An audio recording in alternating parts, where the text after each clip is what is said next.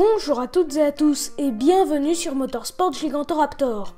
Aujourd'hui, nous allons parler des soi-disant fossiles vivants. Un fossile vivant est une expression ouvertement contradictoire qui désigne un animal actuel n'ayant apparemment jamais évolué, ou alors depuis bien longtemps.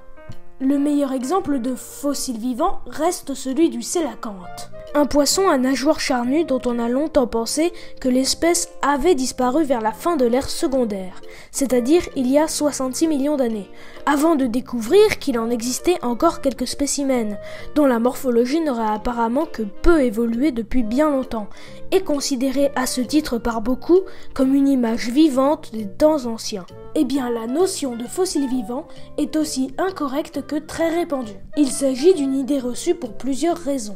Premièrement, les espèces évoluent en permanence. L'évolution a toujours eu lieu. Si un fossile ressemble vaguement à un animal actuel et qu'il appartient à la même famille, cela ne signifie pas pour autant que l'animal actuel en question n'a jamais évolué. La morphologie du sélacanthe actuel ressemble certes à celle de certains de ses cousins préhistoriques, mais ce poisson à nageoire charnue est aussi différent de ses cousins que nous, les humains, le sommes de nos lointains ancêtres. Et quand je dis lointain, je ne parle pas seulement des récents hominidés de l'ère quaternaire. Le sélacanthe actuel n'est d'ailleurs pas le seul animal dit fossile vivant. Car, si vaguants soient les termes qui les définissent, les poissons cartilagineux et les crocodiliens sont aussi considérés par certains comme préhistoriques. Les termes crocodilien et surtout poissons cartilagineux sont, comme je viens de le dire, très vagues, car ils regroupent énormément d'espèces. Par exemple, les crocodiliens ou les poissons cartilagineux préhistoriques ont certes un petit air de famille avec les représentants actuels du groupe.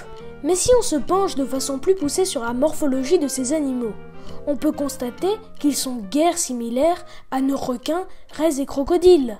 N'en déplaise à ceux qui voudraient penser que ces animaux sont des morceaux de la préhistoire égarés dans le présent. Le fait qu'ils partagent des caractéristiques communes ne veut pas dire qu'ils n'ont jamais évolué. Cela veut dire que la nécessité de s'adapter à certains milieux n'exigeait pas de leur part de grands bouleversements morphologiques. Deuxièmement, il n'existe aucune caractéristique d'animaux préhistoriques, mis à part l'époque à laquelle ils ont vécu. Un crocodile du Nil n'est pas plus préhistorique qu'une loutre, même si les ancêtres de ce dernier rappellent beaucoup sa morphologie. Si une espèce a des caractéristiques similaires à celles d'espèces préhistoriques, cela ne signifie pas que cette espèce est plus préhistorique qu'une autre. Plus ancienne peut-être, mais pas plus préhistorique. Enfin, troisièmement, et c'est la raison la plus évidente, pour être un fossile, il faut être mort. Un fossile vivant est une contradiction dans les termes. Parler de fossiles vivants, c'est donc à la fois jouer sur les deux tableaux de la préhistoire et du présent, mais aussi sur les deux tableaux de la mort et de la vie. De même qu'on ne peut pas être à la fois préhistorique et contemporain, on ne peut pas être à la fois vivant et fossilisé. Bref, il n'existe pas de fossile encore en vie. Faux Comment ça, faux? Lui, il est bien vivant. Mais qui?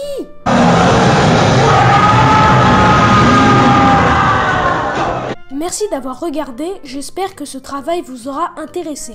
N'hésitez pas à partager la vidéo si vous l'avez appréciée et à faire des suggestions dans les commentaires. Vous êtes maintenant 1000 abonnés sur la chaîne. Merci d'avoir apporté votre soutien et à bientôt sur Motorsport Gigantoraptor.